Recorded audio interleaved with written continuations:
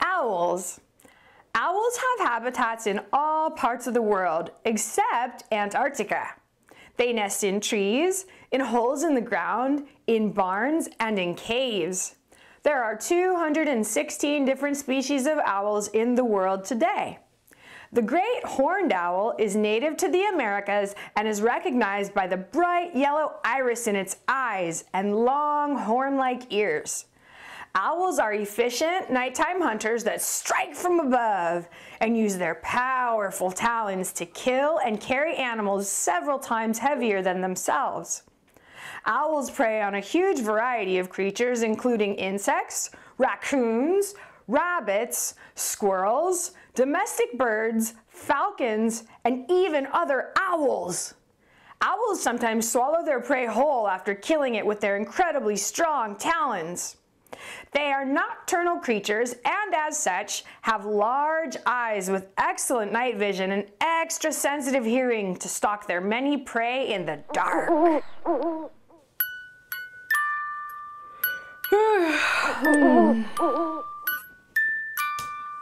Hi guys, it's Amore and Hippolyta. I can't sleep. There's all these owls making noises outside. Do you know anything about owls? They live at night. Like, I mean, they live all the time, but they're awake at night, all night. They're nocturnal. I'm trying to sleep. I'm not nocturnal. You hear that? See? That's what I'm talking about. I don't know if I'm gonna be able to sleep. I guess since I'm up, wanna do a project?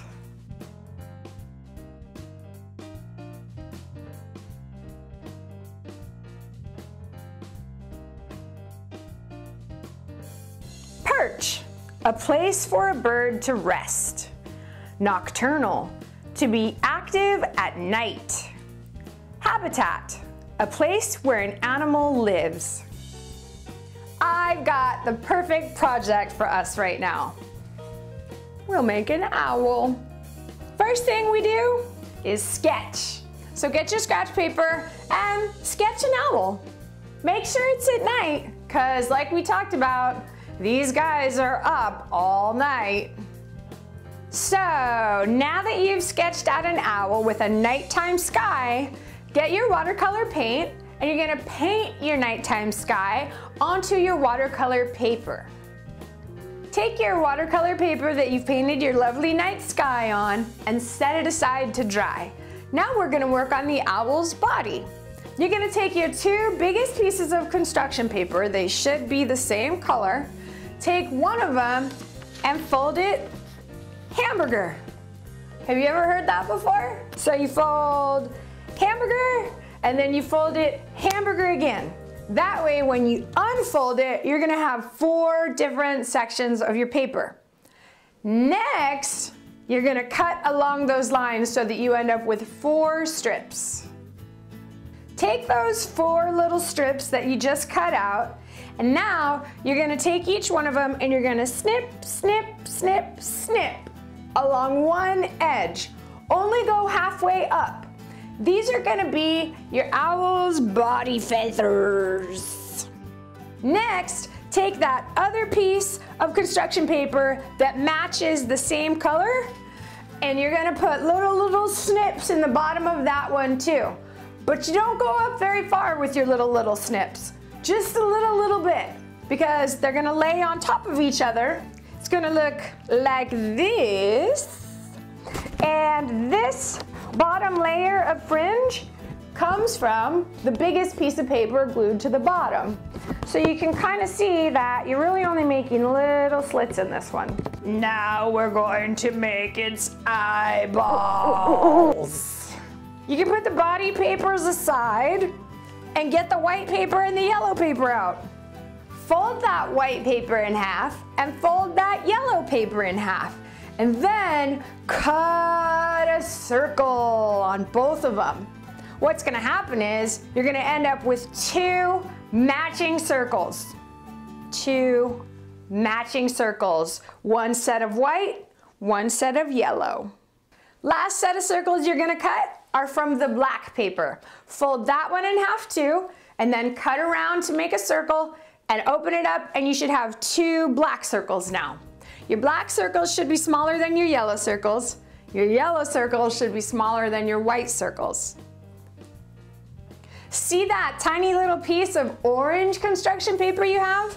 That's gonna make your owl's beak. Keep, keep, keep. Actually, no, it's more like whoo, whoo, whoo. Anyway, so you're gonna take that little orange piece and you're gonna fold it in half and you're gonna cut a triangle. Zoop, zoop, just like that. And that's gonna make your owl's beak. So when you unfold that triangle you cut, it should look like a diamond because when you glue it on, that's what makes your owl's beak. See? You can have it closed or you can have it open like the owls around here because they're always saying who. Now we're gonna assemble the owl, but first we need to curl its hair. Take those little strips of paper that you cut the little slits into and take those slits and wrap them around a pencil like this.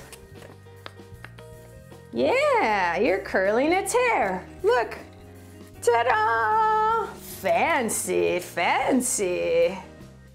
So that's what your fringe should do. It should curl up like this.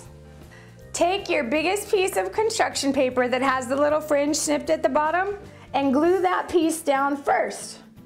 Then you're gonna take the other four pieces and you're gonna glue them on in layers, making sure that the fringe sticks out at the bottom. Next, take your big old piece of felt and glue it down on top of the feathers to make your owl's head. He's a blackhead. Now take the rest of the feathers and glue them along the sides of the owl's body. It's circle gluing time. First set of circles you're gonna glue are your white ones. Next set of circles you're gonna glue are your yellow ones. Lastly, you're gonna glue the black circles into the center of your owl's peepers. Next, it's time to install your owl's beak. Just glue the bottom triangle to the felt. That way, it has kind of a three-dimensional quality because the top triangle flops. Hey guys, don't eat those beans. They're for the branch. You're gonna glue them along the bottom of the owl's body and it will create the effect that the owl is actually perched on a tree branch. Super cool, right? Then you can take the sequins and you can add them on top, make it look like little flowers or bugs or leaves, whatever. Good job, guys.